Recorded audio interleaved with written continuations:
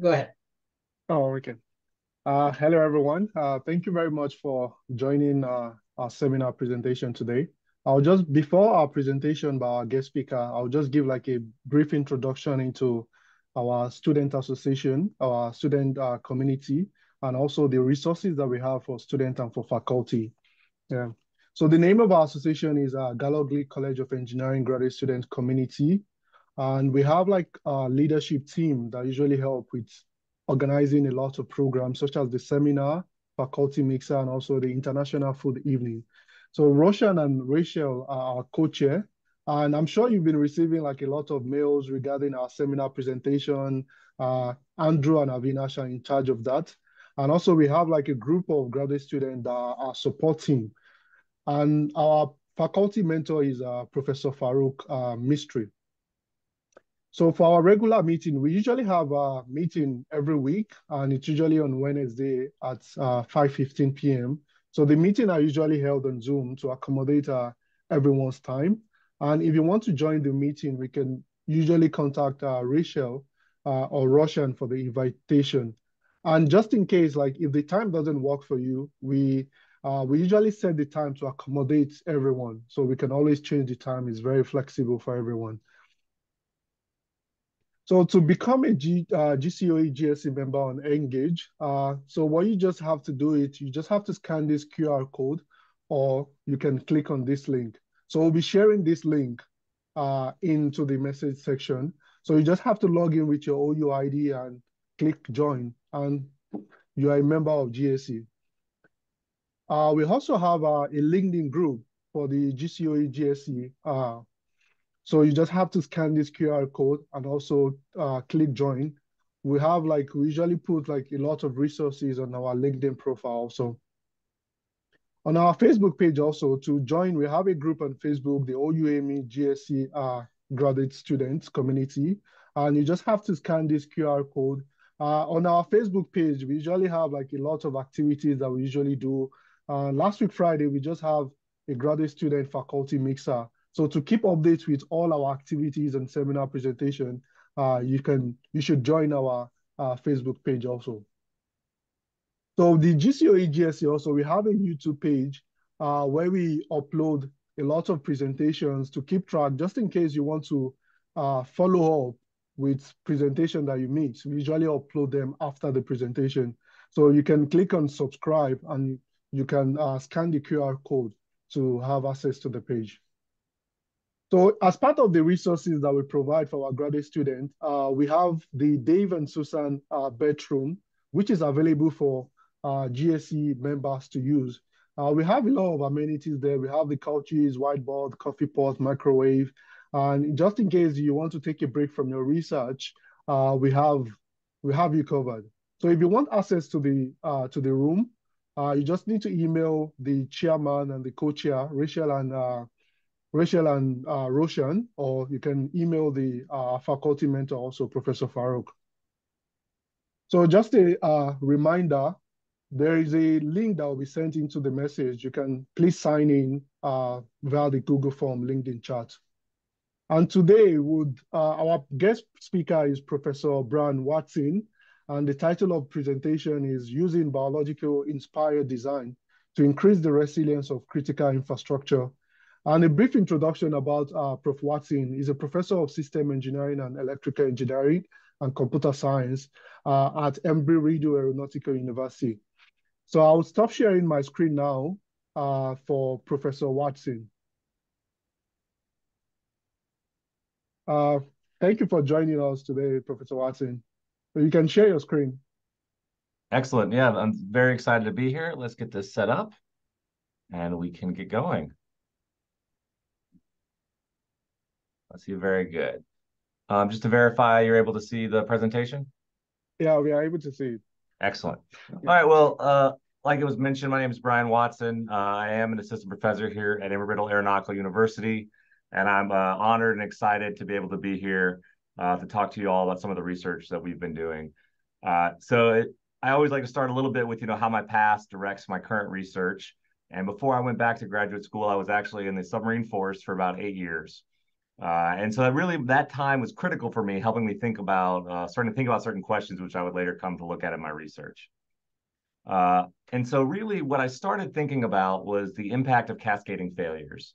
Uh, and so any any good submariner will tell you that the the real indication that something has gone wrong is the circulation fans turning off, right? If the air conditioning fans turn off, that means you've got a problem, right? You've also got alarms and other indications, but when the fans turn off, things are a problem. So I was uh, on the on the boat getting some food. I heard the fans uh, turn off, and I decided to go back and see uh, what was going on. And we figured out the following sequence of events had occurred. Right, we saw that a there was a trash can in the engine room, and the trash can's supposed to be emptied every couple hours, but it hadn't been emptied. Somebody came by with their uh, energy drink can, and instead of throwing the energy can away in another trash can or emptying the trash can, they decided to do the thing where you balance the trash on top of the pile of trash in your trash can. We've all done this, right? Well, the can fell off, rolled across the floor, fell into a gap, and went next to something that was moving. Now, it wasn't causing any damage, but it was making a, a new a sound that the uh, the operators didn't expect. So, of course, they turned that uh, piece of equipment off, and that directly impacted some of the missions we were able to uh, accomplish while we were investigating that problem. And so we see a very tiny uh, individual fault cascades and cascades and cause some major consequences. Another example from uh, from the world, right? Is uh, you can look at these eight products and ask yourself, what do they have in common? Give everybody a few seconds to think about it. All right, so these were all industries impacted by uh, cascading faults caused by the grounding of the Ever Given. Right, so those of you who aren't familiar with the event, right, in 2021, uh, the Ever Given ran aground and it was stuck for about 11 days and it blocked the Suez Canal. Uh, now, what this is important, right, because about 12% of the world's uh, shipping cargo travels through the Suez Canal. And during that 11 uh, day blockage, they need to take a three week detour around the Horn of Africa rather than going through the Suez Canal, impacting about $9 billion worth of goods a day. So you have a single ship getting stuck, having a global impact. If you go back to the previous slide, you'll see one of the, the industries that was impacted actually was COVID response. Several hospitals had to change their COVID response strategy because of the delays in receiving personal protective equipment. Right, and all those companies I showed there, they specifically mentioned these supply chain issues when they were uh, discussing their quarterly revenue. So we think about cascading faults. We know they're important. Um, I want to talk about one other idea, which is systems of systems. So this makes it even more complicated for us. So systems of systems are this idea that we can combine constituent systems and they want to exchange energy, material, money, or information. So if I go back to my submarine example, that submarine is a system, right? There's, it has many parts, but they all interact deterministically. Whereas if I combine them into a carrier strike group, now I'm dealing with a system of systems, right? Now they have all these various constituent systems, they all interact. Each constituent system has autonomy, and they're exchanging, in this case, mostly information. So we, the world we live in, right, is composed of systems of systems. And what we're interested in in our group is how do we increase the resilience of these systems of systems? Um, it's a good idea to always define terms at the start of a talk. So resilience is our ability to resist a fault, minimize disruption, and recover. So we could have our system performance. We're measuring some sort of uh, metric of interest, right? A fault will occur, performance will degrade, and then through actions by the operators or through the system itself, the system will recover. What we're interested in is the ability to make the degradation from the fault not as severe and speed the recovery.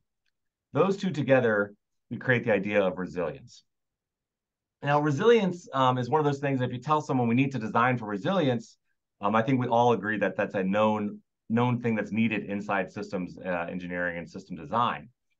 But what's really interesting is that this is an area that is well, well recognized as requiring significant work still to be done, right? Um, it talks about the fact even standard definitions, right? If you get a bunch of resilience engineers in the room and start talking about how do you measure resilience, you'll have a very lively conversation, right? Um, and specifically, um, one of the things that's called out is research which will enable the discovery of emergent effects before it's constructed. And we'll talk about what we mean by emergence here in a moment.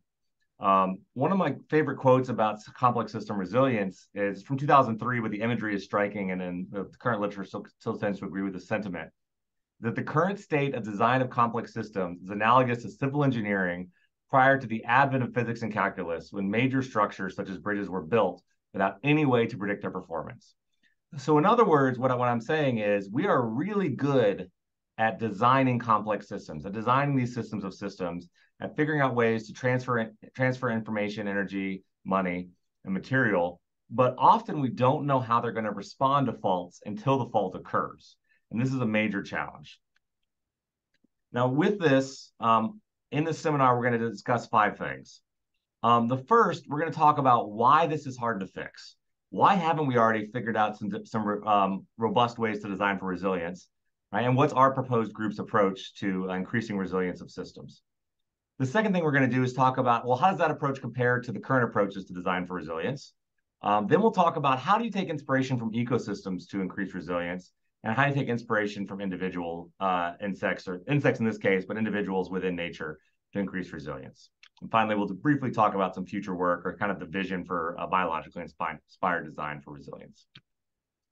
So let's talk about first our proposed approach to increase resilience. We have to talk about why this is still a problem, right? It's 2023. Why are we still investigating this?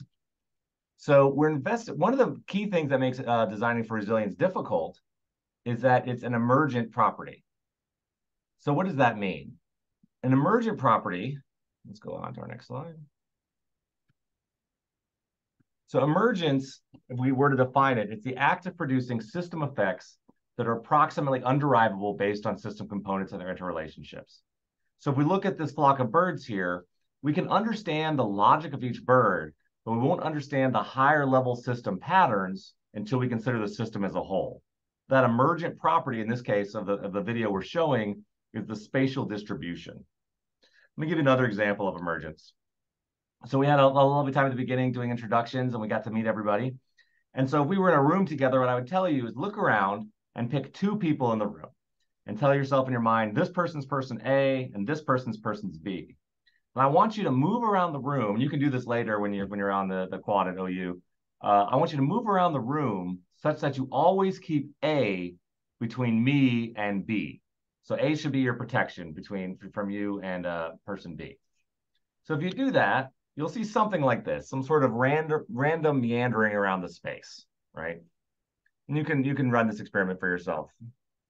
Now, if you change the rules slightly and say, okay, now I want you to put yourself between A and B, and you do this base a very small change. Rather than having A protect you from B, now you're protecting A from B.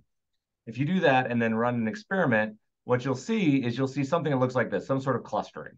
Now, it could be multiple nodes depending on the way people pick their partners. Um, but you'll see this spatial uh, organization on a system level. And of course, you would now most people when I show them this example say, "Well, I understand that now. Now, I, now I now that I've seen it simulated out, I understand why that occurs." But the complication with the emergency system level properties is that as the rules become more complicated, complexity it all is much more difficult to anticipate what the uh, system level effect is going to be.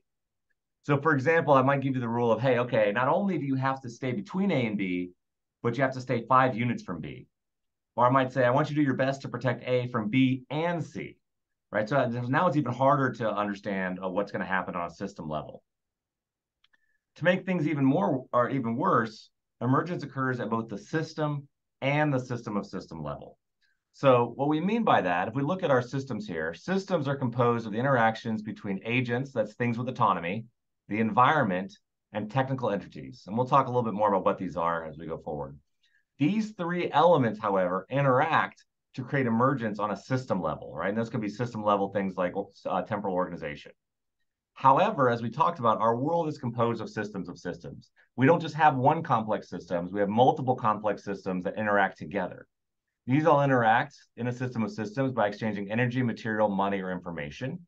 And the result of those interactions is also emergence. And that creates system of system level properties like resilience, sustainability, reliability. So we're interested in the prop, uh, property of resilience. This is an emergent property from the interaction of systems. Oh, by the way, the, um, the interaction of lower level constituents of a system also cause emergence. So emergence can propagate upward to cause major system civil system level uh, per, uh, performance changes. So I always like to pause here, and I, I, know many of you are from mechanical and aerospace engineering. And so why are we talking about emergence to uh, mechanical and aerospace engineers? And I would argue that this, this actual problem applies to all engineers. So I think we all have a role as engineers inside designing these complex systems. So we might be designing the agents, right? So maybe your maybe your work looks specifically at sensor networks, mobile robotics, things like that, things that are able to make those autonomous decisions. You might working on the environment, right? And that could be both actually controlling the environment through climate control or the sensors which sense the environment for the agents, right? Or you might be working on technical artifacts, right? Maybe you're working on um, a plant that these robots are working inside of. All engineers, right, I think work somewhere inside these complex systems and our work directly contributes to it. Okay, that's great. So I'm in the complex system, but my my my more my second point is that if we don't consider emergence, our work as engineers can be undermined. A great example of this is the Broughton Bridge collapse in 1831. So we think about this this thing. The entity was this bridge in Britain, right? The environment was the temperature, the atmospheric conditions, and the agent choices was they had a group of soldiers marching in unison right? And what the emergent property was, was they actually hit the harmonic frequencies of the Broughton Bridge. And of course, this is Tacoma Narrows, a different bridge that had some harmonic uh, issues. Uh, but my point is, the the engineers can do everything they they want to to design that bridge correctly. But if they don't consider the way that these things are interacting inside of a complex system, all their design efforts are for naught, and they won't achieve their design objective. So I would argue that all of us as engineers need to be aware of emergence and consider it when we are entering the design process. Now, if we go back to why is it hard to uh, to engineer emergence, there's really two approaches. Uh, well, there's many ways that that people organize these approaches, but we'll classify them into two for today's talk. The two approaches we'll use is number one, we can change the rules agents follow. So maybe I'm always still going to interact with A and B, but as an agent, I'm going to change the rules I follow. The other thing we can change is who I interact with. So maybe my rules stay the same, but now I'm interacting with more uh, more different uh, entities. So one one of our uh, I guess key theories in our group is that biologically inspired design provides a fundamentally different approach to resilience engineering. So if we think about our complex system, and this is just a different way to show the same image from before, we have our agents. Agents makes observations about other agents. They make observations about the environment, and they choose a behavior. Right? They make some sort of action in the world. Then through the proper process of emergence, these agents' actions all interacting, we end up with system level behavior or system of system level behavior we care about, right? In our case, we care about resilience. Now, current approaches often say, okay, I know I want resilience. Can I understand the black box of emergence in order to be able to uh, determine uh, uh, what strategies I should use? So starting with resilience, examining emergence to determine strategies. Our approach says, okay, let's start with biological inspiration. Let's find biological approaches that improve resilience in nature. If we find those behaviors that improve resilience in nature, let's apply them to artificial systems and see if we get the same resilience. So if it supports resilience in nature, will it support resilience in artificial systems? Our approach does not attempt to understand the inner workings of emergence. Rather, we're focused on the end goal of system level behavior, which is resilience. Of course, because we're using different approaches, we also use significantly different tools, right? We'll use biologically inspired design, heuristics, functional decomposition. Um, we, we do keep computer modeling in common. Uh, cur current approaches often have much more of uh, game theory, open dynamics, machine learning, things like that. So a little bit of a vision statement here, right? So what we want to do is we want to protect people from unexpected faults by leveraging those design solutions found in nature. So here's an example of a, a low resilience system of systems. We have our water, our factory, our energy, and our communications. So current approaches might say, okay, let's increase the number of, of water uh, plants. Let's make this uh, link harder to disrupt. Let's increase the capacity of the power plants. We have standby power available. Let's increase the number of connections. So if one fails, then we're able to still uh, maintain a uh, information flow or energy flow between these two. And that works, right? That will increase resilience. But the problem is it doesn't scale very well. As your system continues to grow in size and complexity, your cost continues to grow greater than linearly, right? So this is not a sustainable solution as our as our systems of systems continue to grow and become ever more present. Our approach says, okay, rather than changing capacity or links, let's look at nature, right? Can we take some behaviors inspired by ant colonies to increase resilience? Can we, if we're going to make a change to the the uh, network structure, can we do things inspired by uh, food webs, Specifically, we're going to talk about two different ways, right? We're going to change who the systems interact with. And for that, we're going to look at ecosystems. How are ecosystems arranged? And how can we mirror those uh, arrangements to improve, improve resilience? And the second thing we're going to do is change the rules agent follow. So we'll look specifically at individual agents in nature or species level behavior to see how they can impact resilience. Before we get into either of those, I want to talk about comparing this traditional approaches. Uh, I made the statement that traditional approaches don't scale well, but we should actually look at how our how our proposed approach uh, compares to traditional approaches if we're going to uh, say we should use it in the world. So when we look at how engineers have tried to increase resilience, they typically do it in two ways. They use hard resilience and soft resilience. So hard resilience, like I said, looks at those examples from the previous figure were examples of hard resilience. Can we make the system more robust? Can we harden the system? Can we add redundancy? Can we uh, include additional ability for communication?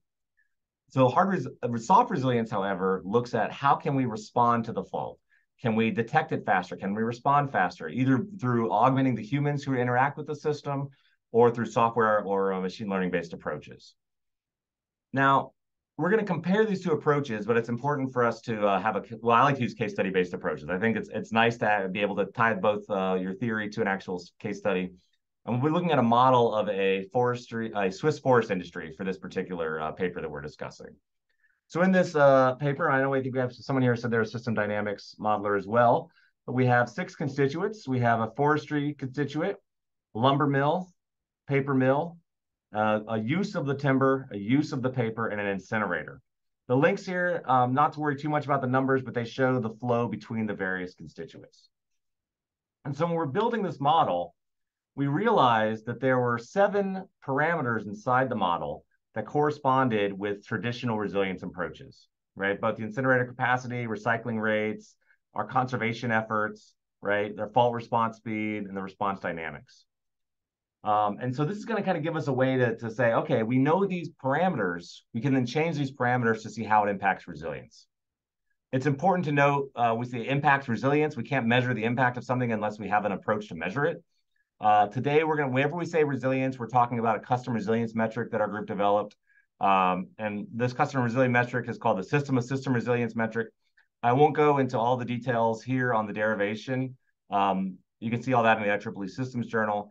But what I will say essentially is what it does is it uses the network structure to determine how long a fault should be inserted for and how long the recovery effort should take and then looks at the uh, disruption to link faults. So specifically, we're looking at resilience to link faults between constituents uh, whenever we talk about the system of system resilience measure.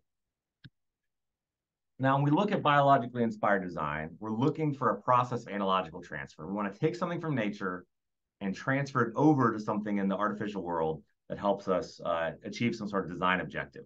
So classic example is a Kingfisher and the Shinkansen train. They had issues uh, with noise from the uh, sonic boom from the train. And so they looked at the Kingfisher's beak and modeled the nose of the train to help with uh, drag problems.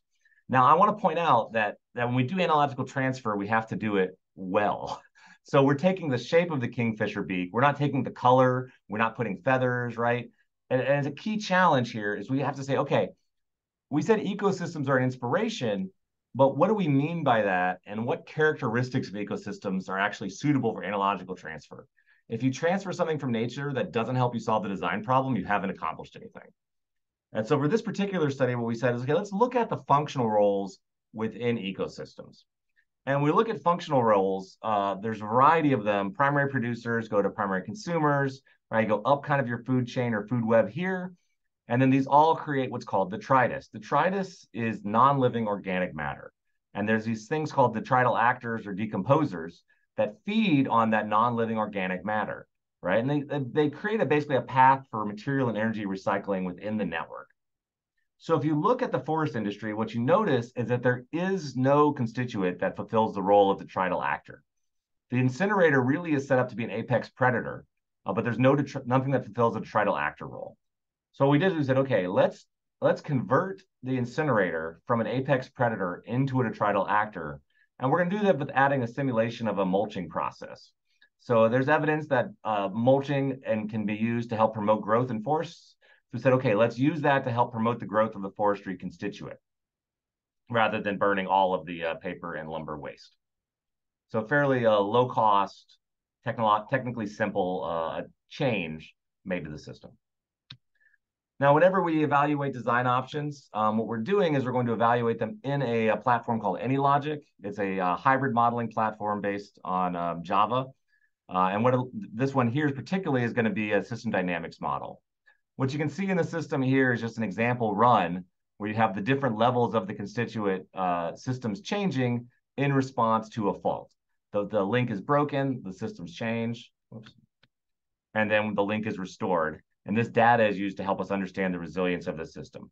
This current uh, configuration here shows after we added the flow back to the uh, forestry system from the incinerator system.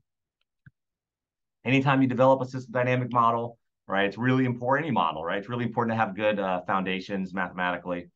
Uh, one area that's really important for, for resilience is the system engineer or the constituent st stakeholders really have to define what do they mean when they say resilience, what are we trying to be resilient to? And that's really something you can't take the human out of the process. They have to be able to define it. Uh, for this particular case study, um, each constituent was given a different, uh, what's called measure of performance on how it how it performed that we can measure the resilience or the impact of. Now, these measures of performance sometimes depended on flows between the constituents and sometimes uh, depended on the levels within. So, for example, the the lumber uh, producing constituent here, this lumber mill, all they care about is making money based on selling lumber, right? So that was the primary driver for their measure of performance. Whereas the timber cons uh, consumption depends upon the level of uh, timber in use, making sure we meet the needs of the housing in the area or other lumber use uh, facilities. Of course, we also went through and defined, carefully defined the uh, equations to govern the flows between all the different constituents. Um, a couple things I would I would mention here just briefly, right? Of course, sometimes the flows are, de are dependent upon other flows. So, for example, we can't recycle lumber if we're not losing lumber, right? There has to be a, a function of how much lumber is actually going out of circulation at a given time. And then we used a proportional controller uh, throughout this uh, to maintain the levels, the standing stock in X2 and X3. That's the safety stock that they maintained um, to ensure they can continue production. Now let's look at the results here. So the biologically inspired redesign resulted in a slight improvement of resilience over traditional approaches, right? So we're looking at 0.922, 0.926, uh, a difference of about $100,000 uh, loss after fault per, and that's per year of faulted time, right? So these these fault values, uh, dollar values, are if you had a fault for a year, what would the impact in in the um, the system be? Now that's that's a small change, but then we have to look at what do we actually do to each system. The biologically inspired approach, we added a mulching uh, path. For a traditional approach, uh, we ran it through an optimization algorithm for those seven parameters we talked about. And to get the op the highest resilience possible, you have to have no delay in responding to demand. You can you have to be able to deforest almost completely this forestry industry. You have to assume that 80% of all paper waste can be recycled. And the, the reason I show this is to show that yes, uh, you know, that's a small improvement, uh, but also the some of the assumptions for the real world would be technically very challenging to implement as opposed to uh, mulching. So this first study was really important for us because it showed, okay, we can we can make improvements over the status quo system using biologically inspired design that's technically simpler to implement uh, and with greater than or, or comparable resilience gains. Uh, so that was the first thing we did was, okay, the, how does it compare to the traditional approaches? The next thing we said was, okay, let's look at graph theory and system-system network structure. Uh, we're looking specifically at ecosystems as we look at this uh, portion of the talk here. So recall, we said, okay, we want to model things from ecosystems to help us improve uh, the network structure. That's fantastic. And we found that the detrital actor role was one we could add, but that's not very general guidance. And it requires you to go into the system that you're looking at and identify the functional roles that each constituent takes. That, that tends to take a bit of uh, domain knowledge and it makes it a little bit less accessible.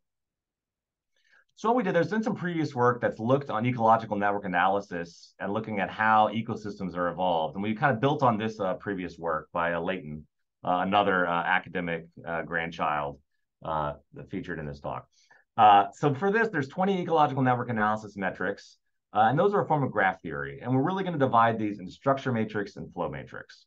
What this does is it lets us take an ecosystem which is a which is a complicated structure, and really uh, drill down into several different uh, numbers which characterize the, uh, the both the shape and performance of the ecosystem. We went back to our forestry case study and we said, okay, let's create these things called design variants. So what a design variant is, is we're making a minor change that still has the same objective of the design. So for example, we can remove this link here and increase the uh, inflow into X2 therefore keeping the remainder of the flows the same, still having the um, remainder of the system perform the same function, which is the uh, forestry output for this this, uh, this uh, Swiss region. this is really important because as we remove these different links, we end up with different ENA values and different resilience values because the network slightly changed. So we found five links we could remove in this manner, and that gave us 16 design variants. For each, we evaluated both the ENA metrics and resilience. When we did that, we found 13 uh, correlations that could be used to guide uh, design. So for example, rather than saying find the find the uh, constituent that fulfills the role of the detrital actor or added the detrital actor, what we said is, okay, let's take the graph theory of mean path length and let's reduce mean path length. Let's increase uh, vulnerability, reduce alpha, all right? And all the definitions for these are given in the paper themselves. But the point is this lets us take a mathematical foundation for the evolution that we want to do to our system. And the goal is that if you're looking at making a change to your system of systems, uh, you can look at your current uh, network structure, look at the proposed network structure, see how it interacts with these design guidance, and help that helps you make a low fidelity estimate on if you're going to make resilience uh, improved or or or uh, degraded. Now, of course, it's great to find correlations, but it, it, you know, we're going to need to validate these, this recommendation. Uh, the paper that we published has three validation studies. For uh, sake of time, we'll discuss two today.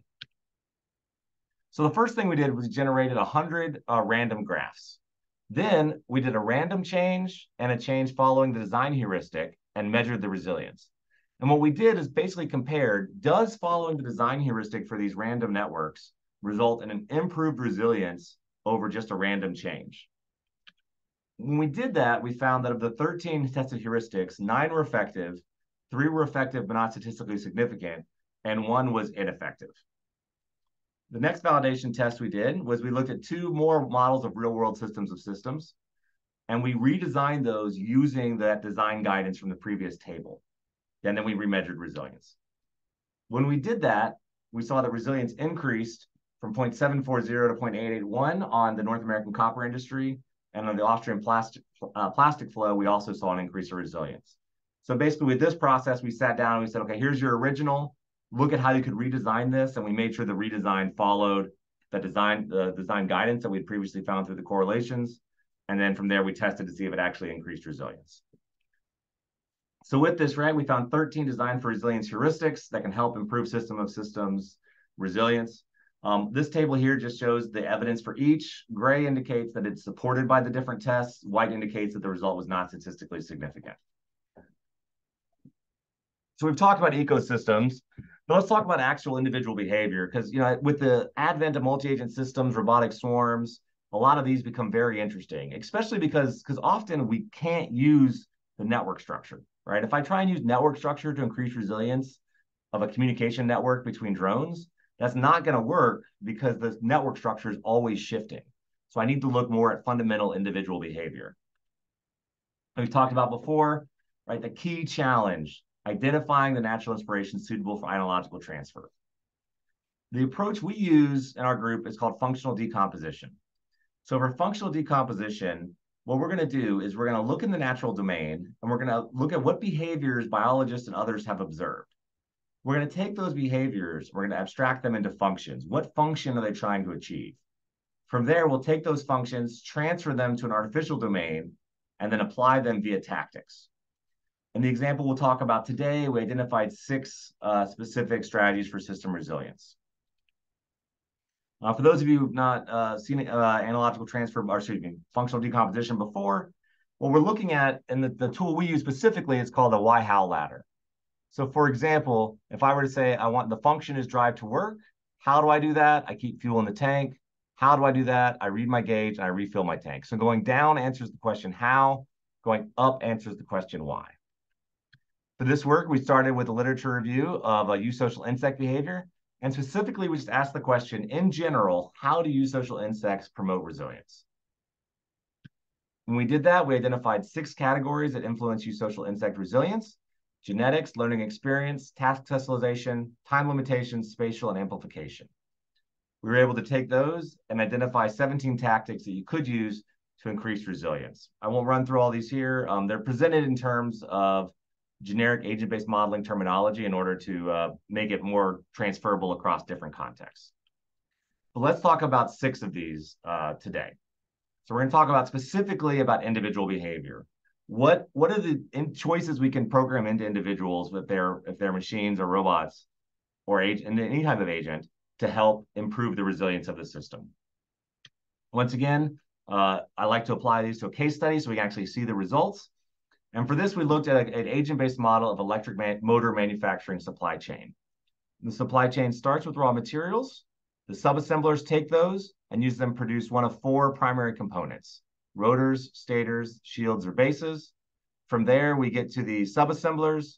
Subassemblers and drive assemblies and case assemblies to the final assemblers. At this point, the completed motors are sent through the system in use. Some percentage goes to recycle, and then the remainder goes to waste. The recycling components goes back to the subassemblers. I like this uh, case study for a couple reasons. Um, it is a single currency case study.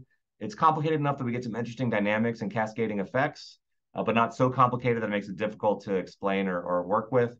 Uh, the other thing I really like about it, it's been well validated, uh, appeared in some previous journal papers uh, by other authors as well.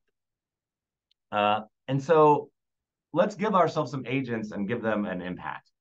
So what we did is we, when we initialized the model, we gave each of the 20 constituent systems 25 agents. We said there are 25 individuals who work at this supplier, at this subassembler, at this distributor, so on and so forth.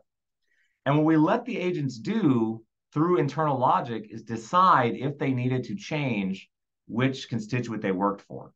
So for example, if the link from one to nine is broken, then these agents should probably decide that it'd be better for them to go to two or go to 10 or go to 14, right? Because they're no longer providing value at this case here. Now, the way they impact the production of each of these different constituents is uh, through this type of curve here, where we have diminishing returns, but also acknowledging that you need a certain number of critical mass in order to actually have production as well. Maximum value is double the initial value for each, uh, each individual constituent, and by that, I mean in terms of output per week. Now, what we're looking at is we're going to compare status quo behavior to these biologically inspired behaviors that we got from looking at eusocial insects. So for example, here we have our uh, logic model. In this case, it's a hybrid model. You're seeing the system dynamics influenced by the agent-based model running in the background. In this case, this link is broken. You can see that this uh, this uh, agent is no longer, this constituent is no longer being used and the remainder are attempting to compensate by having agents move around the system in order to maintain the same sales and same amount in circulation. Okay. Now, for six of these tactics, we saw an increase in resilience of about a 5 to 6%, 0.64 to 0.53, or expected savings of $165 million per year faulted, and that's based on the uh, 20,000 motors per week sold. Uh, what's interesting or, or especially compelling to me is that a lot of these do not require additional equipment or training. They basically require a change in procedure. So for example, in this strategy here, vary parameters, what we did was rather than give all the agents uniform logic, we had the logic change uh, throughout the agents so they had a distributed response to the environmental stimulus. Same thing here, right? The parameters were able to evolve over time in response to basically learning uh, if changing uh, helped helped out the system or not, right? And so we're looking at uh, behaviors or techniques that uh, have minimal or low cost compared to the expected gain. Uh, so in summary, right, we're looking at the two different approaches based on ecosystem, based on agent logic. Uh, we see that we have 30 strategies altogether we've, we've talked about today, um, both heuristics for network structure that we talked about with uh, the two different validation tests, and then agent logic, which we talked about with the, uh, the agent-based model of the electric motor manufacturing supply chain. So what what's what's the vision here, right? The vision is that we want to apply these together to increase system of system resilience. Uh, and we're calling this biologically inspired design for resilience, right? So we go back to our hypothetical low resilience system of system. So rather than just increasing our material infrastructure, what we're going to say is, okay, let's let's look at our filter rotation strategy informed by ant colony task allocation. Let's add a link here inspired by the decomposer functional group. Let's add a link here inspired by ecosystem graph structure. Maybe we're trying to make a uh, resource allocation decision. Let's look at genetic uh, or bee colony genetic structure and let that use that to make help us make a better uh, allocation decision prior to a fault occurring. Right. The goal is to kind of take these these naturally inspired solutions, apply them together in order to improve system of system resilience. Like I said, in conclusion, we're looking at these two different approaches uh, with the goal of uh, creating a more resilient world for us all. Of course, uh, and closing, right, I have to do a few things. Also, always want to thank uh, my co-authors and the student team. Without them, none of this would be possible. Um, they, they truly uh, put in many hours into this effort. They're greatly appreciated. Of course, I also want to appreciate the uh, GRFP and Pat Tillman Foundation for funding this work. It's greatly appreciated. I would also be a bad uh, department colleague or, or, citizen if I did not mention that electrical engineering computer science ERU is hiring, and we are looking for including system engineers. Uh, be happy to talk to any of you that are interested about that after the presentation as well. Um, at this point, I want to thank you for your, your attention. Thank you for inviting me. It's, it's always a pleasure. And I'm happy to answer any questions you have as well. So thank you so much. Uh, thank you very much, uh, Prof. Watson. Uh, that was a very uh, detailed, detailed presentation. Yeah.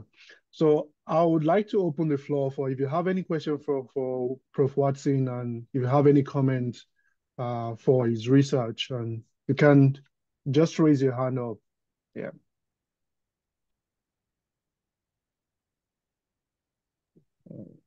I, I, I had a question. Yeah. Oh, okay. Uh, thank you, Dr. Bryan. It was really an amazing presentation. Uh, so on slide 61, when you were telling about uh, different approaches, you said that you change the logic uh, and then you uh, try the simulations. Mm-hmm. Uh, so when you uh, when you change the logic, uh, isn't it that the system design at higher level is going to change, and then the emergence that you would have is going to uh, affect it uh, entirely? Ah, that's a great question. So yeah, so you, you definitely can have propagating effects upward, like we talked about at the beginning. So I think I have mm-hmm. a slide in here about this specific. I always add a little slide at the end just in case. Do I have it in here? I don't. Okay, so specifically when I talk about changing logic, what we were doing at this point is we had given the individual agents thresholds for when to make the decision to change between constituents. So that mm-hmm. is the that threshold is what was able to evolve over time or was changed over time. And it was super interesting, right? In one experiment, we gave them a uniform distribution of thresholds, uh, similar to what you would see in an ant colony based on their their response to sugar or any other stimulus. And mm-hmm. then the other one, we gave them all the same starting, but gave them the opportunity to learn and have their threshold change over time uh, kind of like the the decreased uh, sensitivity you get to repeated exposure to the same stimulus or increased sensitivity depending on you know whichever phenomenon you're looking at. Mm-hmm. I think it, I think in this case it did not. It only impacted the question we were looking at because those are both specifically responses to the fault. So I agree. If you're not, if you don't want to just go start changing all sorts of logic, because then it will change those upper level properties. But because those are both fault response uh, logic, I think in this case there were no other were no other effects because it only happened when there was a fault. Does that does that answer okay. your question? Yeah, yeah, absolutely. Perfect. Thank, Thank you. you. Good question. Uh, thank you, Mayank. Uh, Dr. Naidu, I think, yeah, you can ask your question.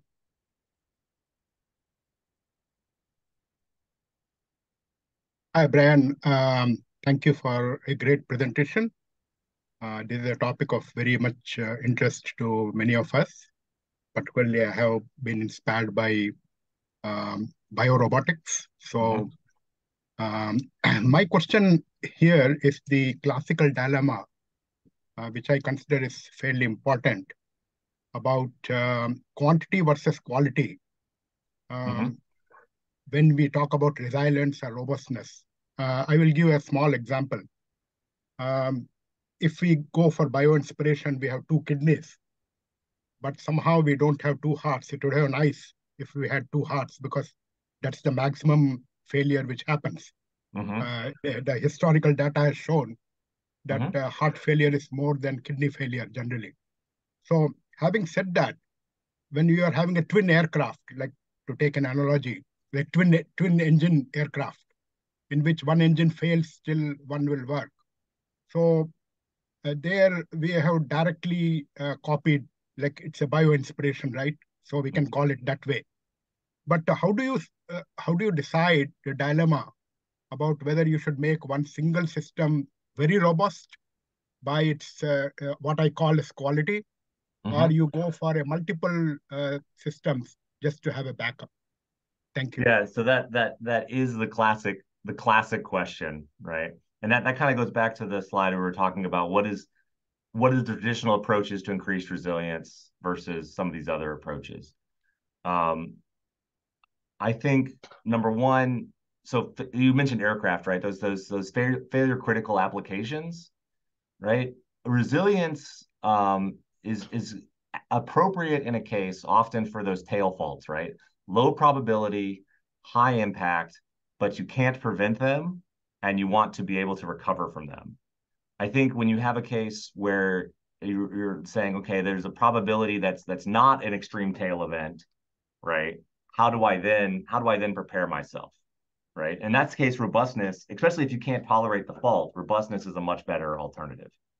Um, I can tell you also for for the research we're doing now, I tend to I tend to think a lot about scalability, uh, and so we're we're looking a lot at many cheap, dumb assets rather than singular smart assets. Um, but I think it ultimately depends on you know an understanding of of what is what is the impact of the failure. I think it's an excellent question and, and one that you know you and I could both spend many decades thinking about. But thank hope, you. hopefully that thank helps explain where I think about it a little bit. Thanks, Bryan. Yeah, thank you. Appreciate it.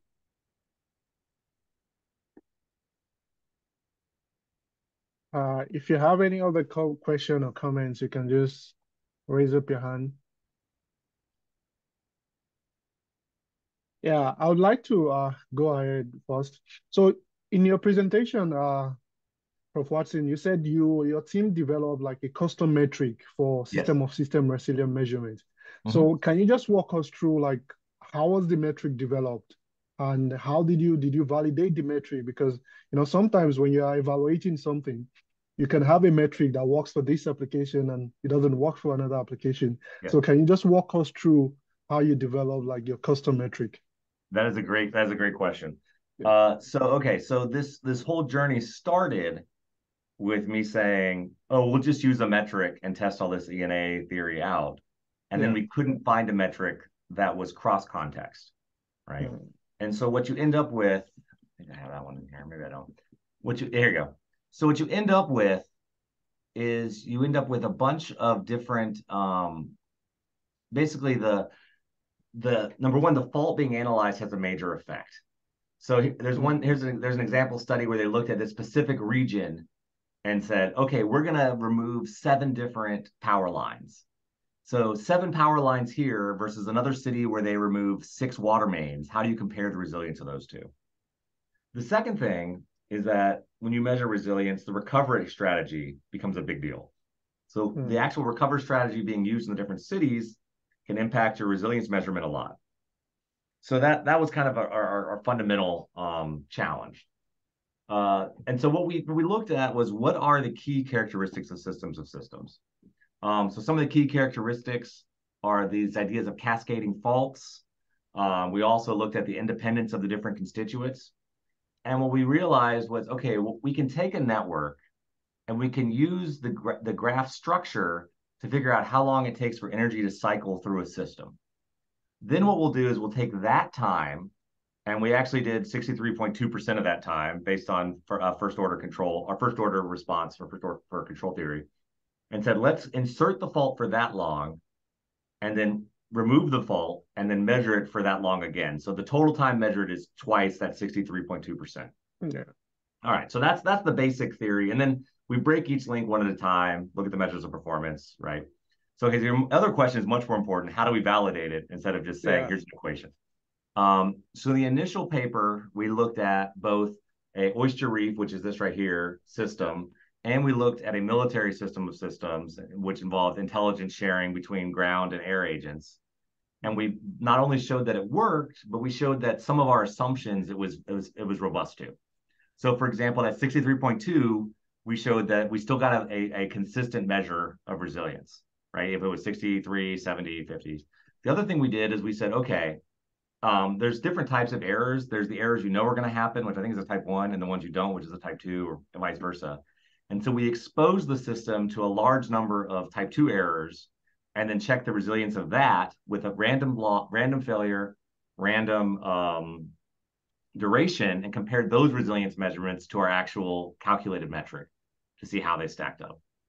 The final thing we did in a separate paper, uh, which went to the IMECE conference for the, the mechanical engineers in the room, what we did is we said, okay, there's ecosystem theory that says this ecosystem shape should be the most resilient, specifically things like triangularity, number of layers, things like that.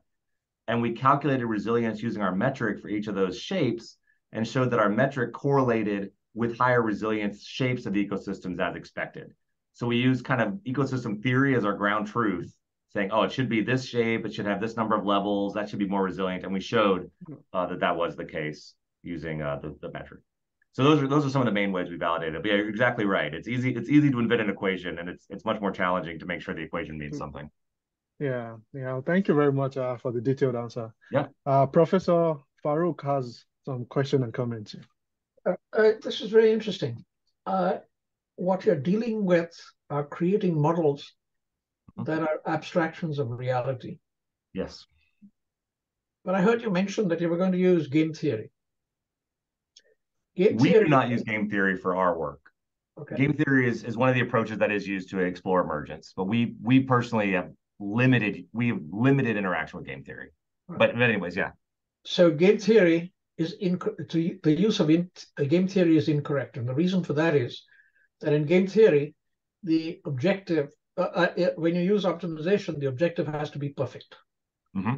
and so your objectives are not perfect, and so game theory is out. Mm-hmm in the traditional way. We have shown how you can use game theory when the models are incomplete and inaccurate. So if you're interested in using game theory, we can show you how that can be done. Excellent. I will. Yeah, I will definitely follow up to get get some of those. I think it's an area that we, we I think we would be remiss not to expand into it at some point. But yes, we we we do very very little with game theory at this point. So I'm just telling you there's an opportunity there. Yeah. If you're interested to use it correctly. Perfect. The second thing is that you have you have uh, uh, the you're going to be using models that are, uh, are abstractions of reality. Mm-hmm. How do you deal with the solutions that you get? Because the solutions that you get are also fictitious in a way to say how do you deal with that? Yeah. That is i think i think the, the, the so the key thing here is to be very clear about the claims we're making right? So the claim i am making is not you show me a network structure and i will tell you its resilience. Because you're right there's an abstraction piece right? There, there's all sorts of unknowns the claim we are making is that given a network structure, if you make changes to, to create a new network structure with this type of graph theory, we expect the resilience to improve. And the way we, we've, the, the foundation for that claim is that we've applied it to many different models with many different assumptions and shown that for the same type of change, you see an improvement. But I think it's very right. I think I think trying to make a detailed future predictive claim or is well limited limited uh limit not not necessarily possible right? So i think you have to be very clear in your in your at least for me i try to be very clear in my writing and and, and what i present that what what our claim is. But yeah you're exactly right. So the third thing which is very interesting to me mm-hmm. is that you're talking about resilience. Mm-hmm the idea of resilience from a supply network perspective is that you bring it back mm-hmm. to the state that it is. For example, the slide you're showing, 78, mm-hmm. you're saying you bring it back to the state it's in. Okay. Now, in essence, when you do that, you're looking at it from a cyber physical perspective. Because uh, in a cyber physical perspective, there's no evolution. All you're saying is bring it back to the same state. Mm-hmm. But you have the opportunity when you're dealing with this problem that if the system fails, we can change what we have to do new things. Mhm. That does not appear to be in your case. In other words, you're not looking at evolution. You have drawn the boundary and said, I'm only going to live within this boundary. Nature does not live within its boundary. Nature keeps changing. Mhm. So that aspect of nature you have not taken into account, and I think you should, and you can. I think that's I think that's an excellent point. I think yeah, I think I think we've focused a lot on what has nature already done, but we haven't included. We, you're right. The the time scale we're looking at is much shorter than what nature has demonstrated. But you see, nature evolves. hmm That's that that's the emergent property of nature. hmm And there's a lot of literature, particularly by a fellow by the name of John Gero, who says that a, a natural system can be modeled using function, behavior, and structure. Mhm. So you have the environment for a biological system. The environment changes. And so the biological system has the opportunity to change either its function, its behavior, or its structure. So, for example, the function changes when a land animal becomes a sea animal or a sea animal becomes a land, land animal. That's one way in which it's gone. In other ways, there's been adaptation, the behavior changes, the way in which they, uh, what food they eat and stuff like that. hmm Or the structure changes. Uh, they grow uh, uh, uh, different ways in which they can, uh, uh, uh, hands and feet and stuff like that. So there is rich literature associated with that. Hmm. And I think you will benefit by thinking along those lines. No, I, I think so as well. Thank you. Yeah, i I definitely will look into that. No, excellent. And if you want papers or ideas on that, uh, we looked at this uh, in the early 2000s.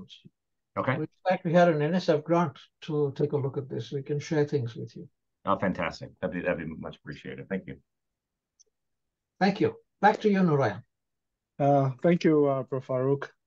Uh, so is there any other question for our guest speaker? Doesn't And also, you can always, uh, if you don't have a question now, you can always send a mail to uh, Prof. Watson. Yes. Uh, he will be willing to reply you. Yeah, absolutely. Great. Then uh, what we typically do, Bryan, would you like Mhm. to have a closing statement? Yeah. Okay. Uh, let's see. So yeah, so I think I think I would uh just close number one saying thank you again for the opportunity to to come and present. Um, I really appreciate the the interesting questions and discussion following as well. I think number one, hopefully I've given you all something to think about, and I've given me a few things to think about, which is always kind of the, the ultimate goal of these kind of interactions. Um, we will continue in our group uh, to try and figure out ways that we can we can support resilience. Future efforts, I mentioned we were going to talk a little bit about that. We're kind of looking in several areas, specifically um, looking at how do we get these things out to the real world. So partnering with some companies, trying to see if we can actually give them some algorithms they can use as they make decisions. Uh, we're looking more into those individual agent behaviors. So we're currently in the process of building uh, 25 uh, very dumb, very cheap robots that will help us test some of these uh, approaches. Uh, and then we're also looking, you know, at some of those fundamental theory questions. How do you measure resilience? Is resilience scalable? Things like that. Um, but I always appreciate the opportunity to share our work. Appreciate the good questions. Um, I hope this has given all, all of you something to think about and, and know that you know there are answers out there in nature. Uh, it's just us up for us to find them and transfer them. So, thank you again. Yeah, Maria? thank you, Prof. Yeah, thank you, Prof. Watson, for the great presentation. And it was very enlightening because like that's not like my background, but I was able to follow the presentation and uh very like it was so detailed and uh it was uh, it was a very good presentation. Thank you. Um, so if anyone has any other question for you, would uh they would send you an email. Um, thank you. We hope we'll be inviting you like in the future again for to present to our audience. Um, yeah. So Excellent. Prof. Allen, Farrokh, yeah, Prof. Farrokh, do you have any concluding uh, closing statements? Yes, it was an outstanding presentation. I think uh, uh, it stimulated a lot of thinking and talk, and we I would certainly like to continue the dialogue with Bryan. Yes. I'm going to I'm going to stop recording as is our usual practice, and then